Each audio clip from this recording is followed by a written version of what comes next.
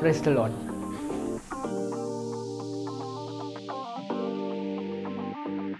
welcome to the show arise and eat.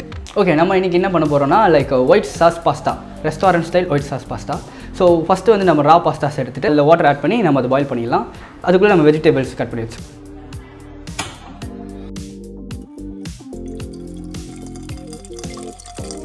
Five hundred ML water ஊற்றிக்கலாம் இந்த இதில் பாதி ஸோ இதில் கொஞ்சம் ஆயில் நம்ம ஆட் பண்ணிக்கணும்.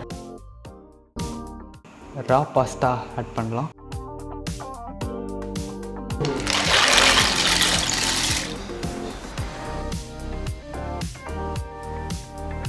Little pinch of salt add பண்ணலாம்.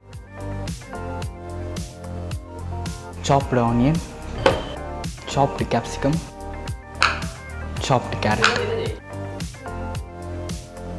பாஸ்தா எவ்வளோ அளவுக்கு வேகணுன்றதை பார்க்குறதுக்கு ஒரு டெக்னிக் இருக்குது இதுலேருந்து ஒரே ஒரு பாஸ்தாவை எடுத்து நம்ம கட் பண்ணலாம். பாஸ்தாவில் வந்துட்டு கட் பண்ணி பார்த்தோம்னா லைக் ஒரு ரிங் மாதிரி தெரியும். ஒரு ஒயிட் கலர் ரிங் மாதிரி தெரியும். இதுதான் பாஸ்தா கரெக்டான வெந்திருக்க அளவு. ஸோ நம்ம பாஸ்தா தண்ணியை ட்ரைன் பண்ணிட்டு கோல்ட் வாட்டரில் வாஷ் பண்ணி வச்சுருக்கோம். ஸோ இதை தனியாக வச்சிடலாம். ஸோ நம்ம நெக் நெக்ஸ்ட் ஸ்டெப் வந்துட்டு வெஜிடபிள்ஸ் வந்து பட்டரில் ஃப்ரை பண்ணி பெப்பர் ஆட் பண்ண போகிறோம் கொஞ்சம் பட்டர் ஆட் பண்ணிக்கலாம். Two to three spoons of chopped garlic லைட்டாக ஒரு ஃப்ரை பண்ணிக்கலாம். கட் பண்ணி வச்சிருந்த ஆனியன்ஸ் ஆட் பண்ணிக்கலாம். ஒரு சின்ன மிக்ஸ் கொடுக்கலாம். ஸோ கேரட் ஆட் பண்ணிக்கலாம்.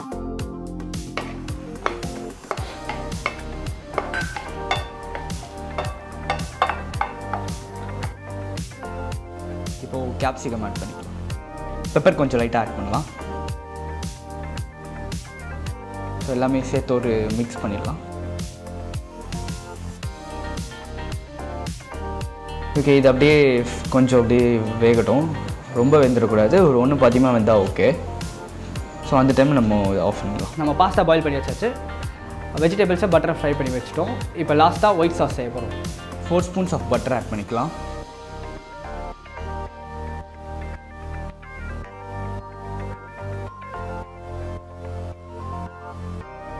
ஃபோர் ஸ்பூன்ஸ் ஆஃப் பட்டர் ஈக்குவலாக four spoons of maida add பண்ணலாம்.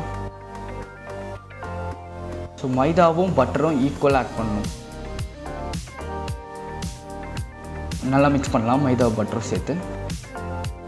இந்த மாதிரி வரும். நல்லா மிக்ஸ் பண்ணிகிட்டே இருக்கலாம்.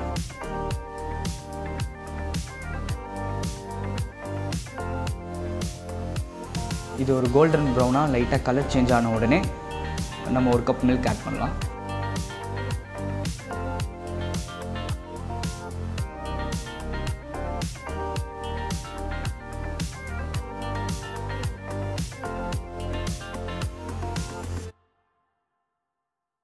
இது திக்கு திக்காக நிற்காமல் நல்லா கரைக்கணும்.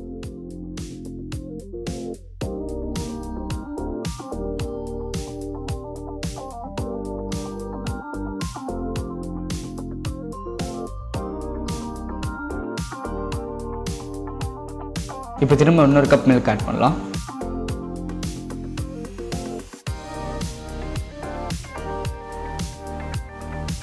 பல்ஜட்ஸ்லாம் நல்லா கரைக்கணும்.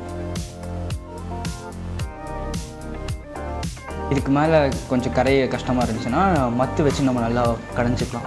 இது ஒரு டெக்னிக் தான். Add little bit pinch of உப்பு இப்போ பெப்பர் கொஞ்சம் ஆட் பண்ணிக்கலாம்.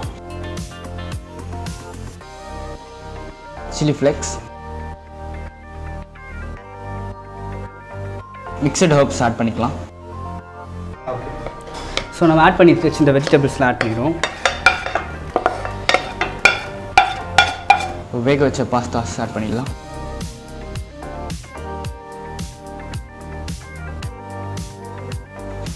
இப்போ இது நல்லா மிக்ஸ் பண்ணிடலாம் ஸோ ரொம்ப கொஞ்சம் திக்காக இருக்கும். கொஞ்சம் ஒரு two to three spoons of water add பண்ணோன்னா ஆட் பண்ணிக்கலாம். இல்லை மில்க் ஆட் பண்ணணும்னா கூட ஆட் பண்ணிக்கலாம். இப்போது சீஸ் கொஞ்சம் ஆட் பண்ணிடலாம்.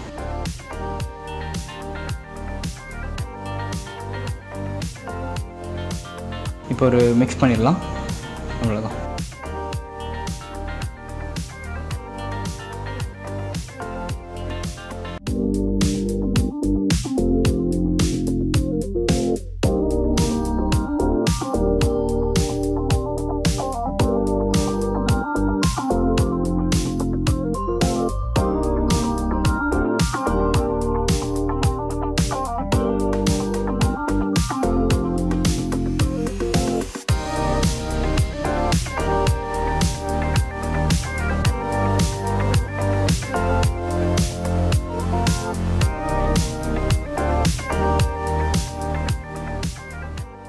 ஓகே ஈஸியாக நம்ம ரெஸ்டாரண்ட் ஸ்டைல் பாஸ்தா ரெடி பண்ணிட்டோம்.